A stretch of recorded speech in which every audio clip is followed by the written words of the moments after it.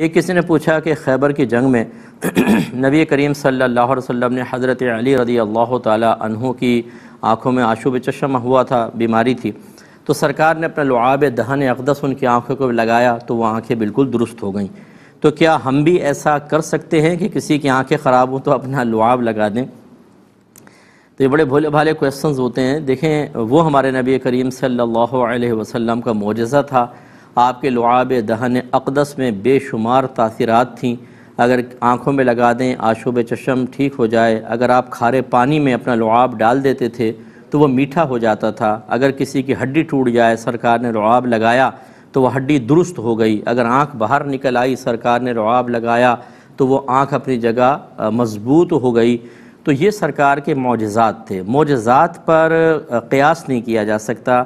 अब आप ये मतलब यूँ नहीं कह सकते कि चूँकि सरकार ने लुआब दहन से इलाज किया, हम भी कर लें। ये क़यास होगा और ऐसे मामलात में क़यास जायज़ नहीं है। हमारा जो लुआब है और खसूस आम लोगों का लुआब, चलो आलिम दीन हैं, कोई बहुत ही मुतकी परहेजगार हैं तो उनकी ज़बान हर वक्त पाकिज़ा रहती है, मुँह पाकिज़ा रहता है तो बरकत होती है।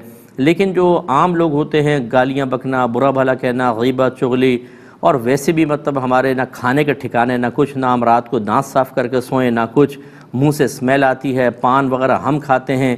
इतने यानी ख़राब मामलात होने वाला, वो अपना थूक लगा के किसी की आँख में लगा दे तो मेरे ख्याल में डबल आशो चशम हो जाएगा तो इसमें एहतियाती करें।